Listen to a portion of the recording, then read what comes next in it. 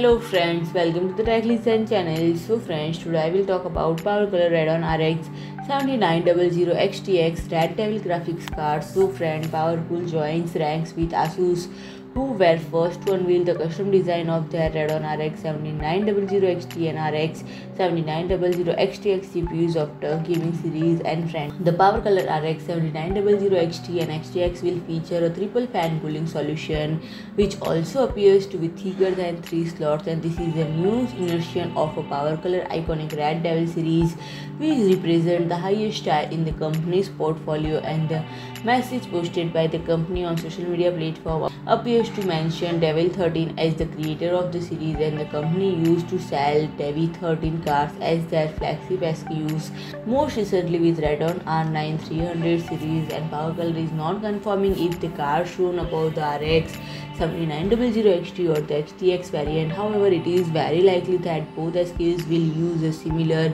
if not identical cooling design and the company already teased the new Devil GPU a few weeks ago but it is not clear whether the feature hosted by back when the backplate of this model or a shroud for the liquid cooler variant and friend the company is also working on Hellhound series as confirmed earlier this week and friend both cars should launch on 13 December and will be released date for AMD Radeon 7900 series. So friend if you like my video please do like, share and comment and don't forget to subscribe my channel and press the bell icon.